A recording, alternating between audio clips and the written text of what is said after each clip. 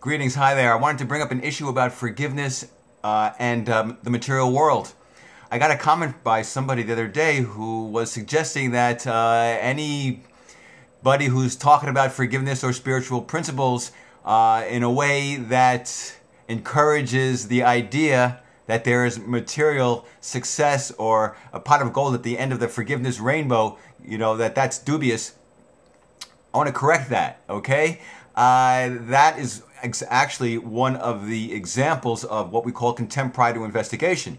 Just because you hear a title that says forgive to win, uh, forgive to gain material success, please do not assume that this is bogus. This is a sham manipulation to get you to, to, to put, pony up some money to buy a book. That's not what this is all about. Uh, the fact is, the truth is, if you investigate, if you look and don't judge before you make a, a decision, don't judge, don't decide, first evaluate, first look at the data, and the data is this. Forgiveness and being of service to others are the uh, foundation of my book, Forgive to Win. And the whole point is that through this course of forgiving others, you forgive yourself. Through the process of esteeming others, being of service to others, you uh, esteem uh, yourself.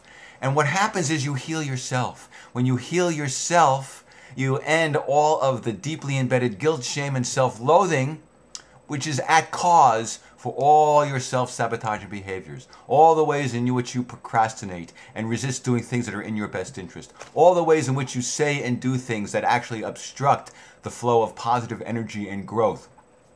Every every way, self-sabotaging way in which you actually put people off rather than draw them to you. You make people not want to help rather than help and synergize with your goals and plans.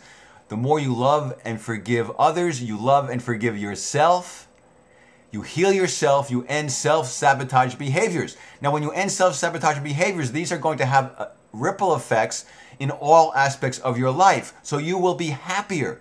On an emotional level, you will be happier. You will be less depressed. You will be less anxious. You will be less angry.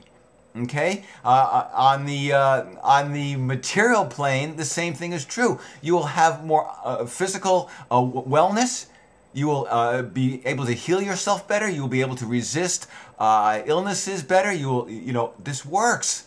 And on the, the literal material plane of prosperity and success and abundance and getting the career you want or the relationships you want or the money you want, the opportunities you want, things get better because you are better, because you are in a healthier frame of mind.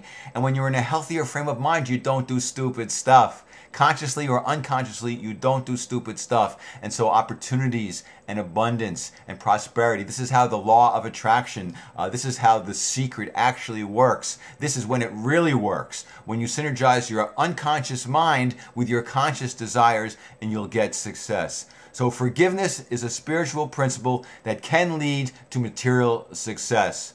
Take care. Peace be with you. See you next time.